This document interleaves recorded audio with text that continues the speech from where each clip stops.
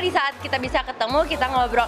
Sebenarnya quality quality time paling paling benar-benar it works itu saat kita lagi unyel-unyelan di tempat tidur sama anak-anak gitu. Iya. Terus ngobrol-ngobrol di situ itu yang paling daripada dibanding sama harus pergi-pergi ke mana liburan ke mana nggak ya. Sebenarnya pada saat sebelum sebelum mau tidur kan semua anak-anak ke kamar dulu.